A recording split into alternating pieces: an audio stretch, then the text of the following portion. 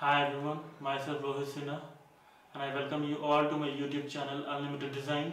So in today's session I will show you how to create a working prototype using Adobe XD and also how to create a shareable link using which you can share your updated work to n number of peoples to your clients so as to get some feedback.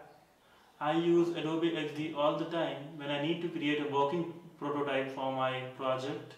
We're going to walk through a lot of things in this session and this is going to be a high level overview but if you want me to get in depth of Adobe XD please leave me a comment and give some feedback regarding what exactly you people want and I will come up with that video in future.